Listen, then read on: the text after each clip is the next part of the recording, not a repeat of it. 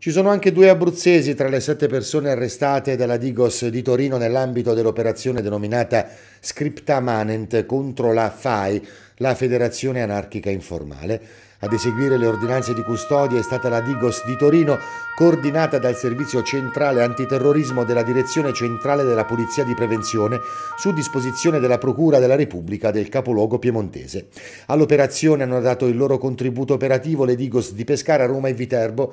In tutto gli indagati sono 15. Agli arrestati viene contestato il reato di associazione con finalità di terrorismo e l'esplosione di tre ordigni, uno presso il quartiere Crocetta di Torino il 5 marzo 2007 2007 e due ordigni presso la caserma allievi carabinieri di Fossano il 2 giugno del 2006.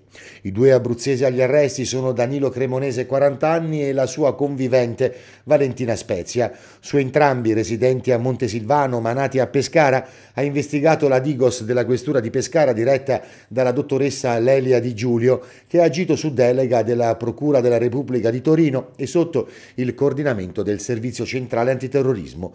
I due danni anni avrebbero collaborato con la Federazione Anarchica Informale. L'operazione della Digos di Torino trae origine dal procedimento penale instaurato presso la Procura della Repubblica di Torino a seguito del ferimento dell'ingegnere Roberto Adinolfi, amministratore delegato dell'Ansaldo Nucleare, per mano di appartenenti al cosiddetto nucleo Olga, espressione del cartello eversivo FAI Federazione Anarchica Informale. L'indagine ha permesso di ricostruire la struttura associativa e l'evoluzione internazionale della FAI.